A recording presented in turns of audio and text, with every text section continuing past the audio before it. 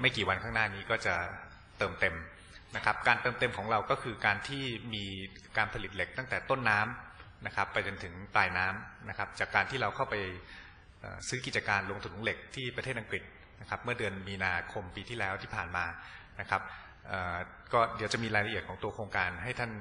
ทราบนะครับจากการที่เราสามารถที่จะเชื่อมโยงธุรกิจตั้งแต่ต้นน้ำนะครับมาจนถึงกลางน้ำและปลายน้ำของเราก็จะทำให้ ธุรกิจของเรามีความเข้มแข็งนะครับ แล้วก็ผลิตภัณฑ์ของเรามีความหลากหลาย สามารถที่จะผลิตเหล็กชั้นคุณภาพพิเศษนะครับ เพื่อที่จะตอบสนองความต้องการใช้ของทั้งประเทศไทย แล้วก็ในภูมิภาคอาเซียนได้นะครับภาพนี้ก็จะให้เห็นถึงตัวธุรกิจหลักๆนะครับ แล้วก็กำลังการผลิตของโรงงานต่างๆของเรานะครับ รวมทั้งทำเลที่ตั้งภูมิประเทศนะครับ สิ่งต่อมาที่นักลงทุนหลายท่านอยากทราบนะครับ ก็คือว่าแล้วอนาคตของตลาด หรือว่าไม่ว่าจะไทยหรือว่าอาเซียนนะครับ รวมทั้งตัว AEC หรือว่าการเปิดตลาดเสรีในอาเซียนที่กำลังจะมานะครับ ใน 3 ปีข้างหน้านี้จะมีผลอย่างไรนะครับ ก็ภาพนี้เนี่ยพยายามที่จะให้ท่านนักลงทุนเห็นว่ามันจะมีธุรกิจหลักๆนะครับ หรืออุตสาหกรรมหลักๆ ที่จะได้รับผลกระทบ นะครับไม่ว่าจะเป็นกลุ่มอุตสาหกรรมยานยนต์และชิ้นส่วนนะครับ กลุ่มอุตสาหกรรมเครื่องใช้ไฟฟ้านะครับ อุตสาหกรรมแปรรูปอาหารนะครับ อุตสาหกรรมการผลิตและการประกอบนะครับ หรือว่าอุตสาหกรรมเครื่องจักรกลรวมทั้งอุตสาหกรรมท่องเที่ยวนะครับ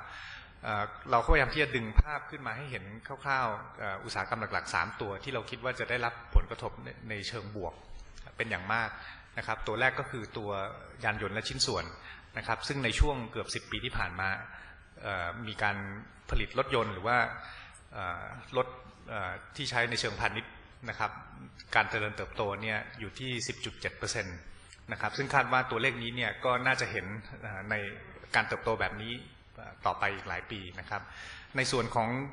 การผลิตพวกเครื่องใช้ไฟฟ้าหรือว่าพวกอิเล็กทรอนิกส์นะครับ ก็เติบโตอยู่ที่ 5.1%นะครับในช่วง 10 ปีที่ผ่านมา แล้วก็ในส่วนของการแปรรูปอาหารนะครับก็ 3.6%นะครับเราเห็น 3 ตัวนี้เป็น key driver หรือว่าเป็นตัวที่จะขับเคลื่อนความต้องการใช้เหล็กต่อไปนะครับ ซึ่งทั้ง3 sector นี้เป็น sector ที่ใช้เหล็กชั้นคุณภาพพิเศษ หรือว่าเหล็กที่เป็น high grade นะครับซึ่งที่ผ่านมาเนี่ยประเทศไทยหรือว่าประเทศในอาเซียนไม่สามารถที่จะผลิตได้นะครับ เนื่องจากว่าเราขาดเหล็กต้นน้ำของเราเองนะครับ ซึ่ง ตรงนี้เนี่ยเราบริษัทเราคิดว่าเราตอบโจทย์ตัวนี้ได้แล้วนะครับ จากการที่เรามีลงทุนเหล็กของเราเอง จะขออนุญาตไฮไลท์ผลประกอบการของไตรมาส4นะครับในส่วนของอัตราการเกิดอุบัติเหตุนะครับ ซึ่งเราจับด้วยตัว lost time injury frequency rate นะครับ ก็คือในการทำงาน 1 ล้านชั่วโมง จะมีอุบัติเหตุ นะครับเกิดขึ้นกี่ครั้งนะครับ ในไตรมาส4เราอยู่ที่ 1.97 ครั้งนะครับ ซึ่งสูงกว่าไตรมาส3ประมาณ 14%นะครับแต่ว่าลดลงมาจากไตรมาส4ของปีก่อนหน้านั้นนะครับถึง 32%อันนี้สาเหตุเนื่องมาจากว่าบริษัทย่อยของเราก็คือเอสไอยูเคซึ่งเป็นโรงถลุงที่ยังปิดอยู่ในช่วงของโครงการการปรับปรุงตัวเตาถลุงนะครับ ก็เหมือนกับเป็นโครงการก่อสร้าง ซึ่งจะมีอุบัติเหตุเกิดขึ้น ในอัตราที่สูงกว่าปกตินะครับ หลังจากที่เริ่มผลิตแล้วก็คาดว่าน่าจะกลับมาอยู่ในอัตราที่ปกติได้นะครับ ในส่วนของยอดขายของไตรมาส4นะครับเราอยู่ของยอดขายของกลุ่มเราอยู่ที่ 13,008 ล้านนะครับลดลง 3%จากไตรมาส3แต่ว่าโตขึ้น 21%จากไตรมาส4ของปี 53 นะครับอันนี้ถึงแม้ว่าจะธุรกิจเหล็กผลิตร้อนในประเทศไทยเราได้รับผลกระทบจากเหตุการณ์น้ำท่วมใหญ่ นะครับทำให้ยอดขายเราหายไปนะฮะจากปกติเราอยู่ที่ 13,000 ล้าน ก็ตกไปเหลืออยู่แค่ประมาณ 7,000 กว่าล้านนะครับแต่ว่าเราได้รายได้จากที่ลงถุงเหล็กที่ประเทศอังกฤษเข้ามาชดเชยแทนนะครับประมาณ 5,200 กว่าล้านนะครับอันนี้ก็เป็นผลมาจากการที่เราได้ diversify ไปลงทุนต่างประเทศนะครับและทำให้เหมือนกับเป็นการกระจายความเสี่ยงนะครับมีรายได้ในส่วนนั้นเข้ามาชดเชยทำให้ยอดขายกลุ่มเนี่ยไม่ได้ตกลง นะครับต่อมานะครับก็มาดูตัวยอดขายของเหล็กแผ่นรีดร้อน หรือว่าที่เราเรียกว่า HRC shipment นะครับอยู่ที่ 3 3 0 0 0 ตันนะครับก็อย่างที่ได้เรียนให้ทราบอันนี้ได้รับผลกระทบนะครับถึงแม้ว่าตัวโรงงานหรือว่าธุรกิจของเราเนี่ยไม่ได้รับผลกระทบโดยตรงจากภัยพิบัติน้ำท่วมนะครับแต่ว่าลูกค้าหลายรายได้รับผลกระทบ หรือว่า supply chain ของลูกค้าได้รับผลกระทบนะครับเพราะฉะนั้นก็ไม่สามารถที่จะรับ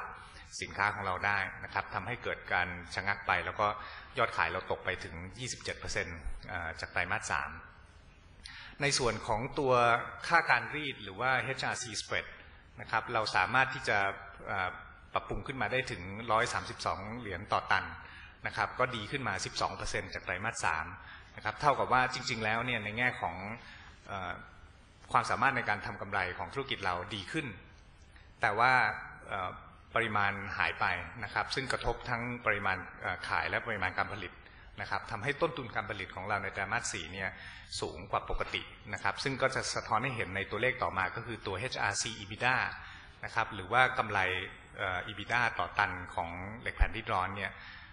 ถึงแม้ว่าตัวค่าการรีดจะสูงขึ้นมาที่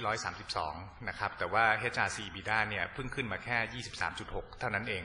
นะครับ ไม่ได้ดีขึ้นมาในสัดส่วนเท่ากัน นะครับ เนื่องจากว่าตัวต้นทุนการผลิตที่สูงในไตรมาส4ในส่วนของยอดขายโคกนะครับซึ่งเป็นผลิตภัณฑ์พลอยได้ตัวหนึ่งของโรงถลุงเหล็กที่อังกฤษนะครับเนื่องจากว่าตัวโรงถลุงเหล็กที่อังกฤษเนี่ยยังไม่ได้เริ่มถลุงนะครับ ก็จะมีตัวผลิตภัณฑ์พลอยได้ตัวนี้เนี่ยเอ่อเป็นสินค้าหลักนะครับ ในไตรมาส4เนี่ยสามารถขายได้ถึง 418,000 ตันนะครับ ก็เท่ากับว่าผลิตออกมาเนี่ยทั้งหมดสามารถขายได้หมดเลยนะครับ ซึ่ง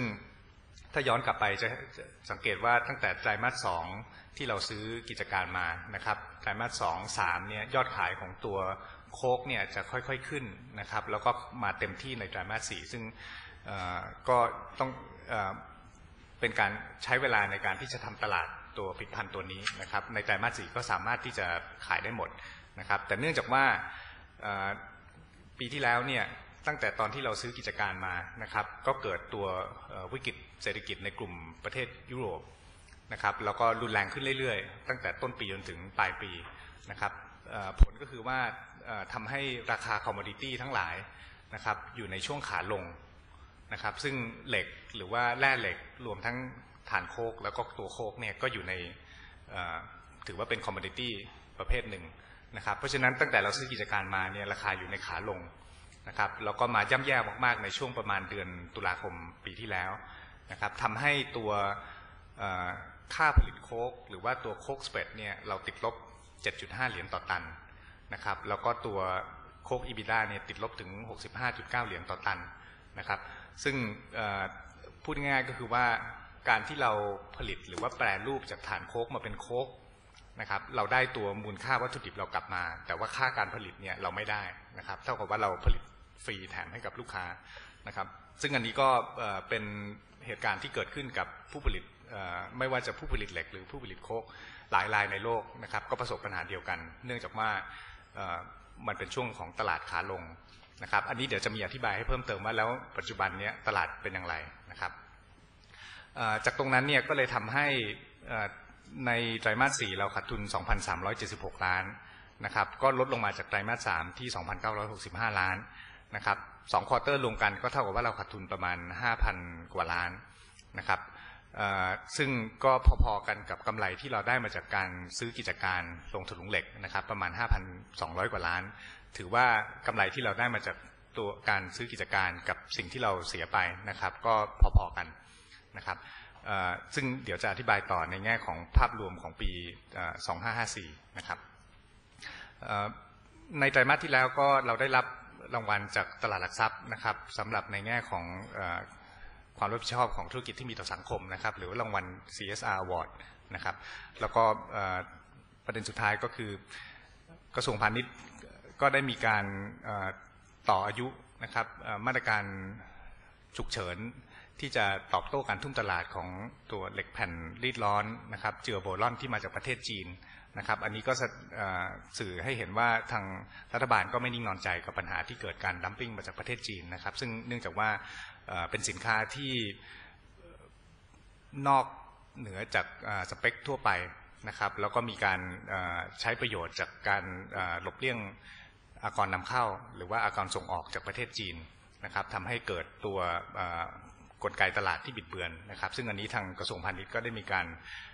มีมาตรการออกมาให้เราโดยเร็วนะครับ เมื่อตั้งแต่เดือนสิงหาเราก็ได้มีการต่ออายุให้เราครั้งหนึ่ง